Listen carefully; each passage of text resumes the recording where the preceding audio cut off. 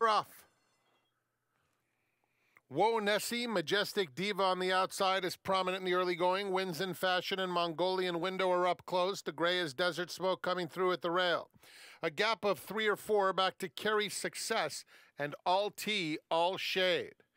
Down the back stretch they go. It's Whoa Nessie on the outside, Desert Smoke at the rail, stride for stride, wins in fashion, keeps the pressure on three wide.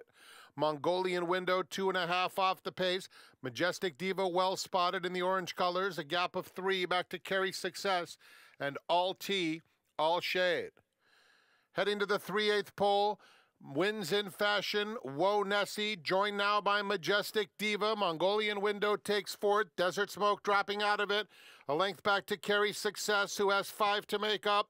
All T, All Shade is next as Majestic Diva takes the lead in hand by a length now over Wins in Fashion in second. Mongolian Window, Red Cap moves up. Kerry Success has a lot of work to do. They're at the top of the lane, and Majestic Diva has opened up. On the outside, Mongolian Window is trying hard. Kerry's Success moving between horses. All T, all shade, a 16th to go, and Majestic Diva completely dominates the competition. It will be Majestic Diva winning by about five lengths. It'll be a good photo for second. Very close, extremely tight between Kerry's Success and Mongolian Window. Then All T, all shade, who was well clear of wins in fashion.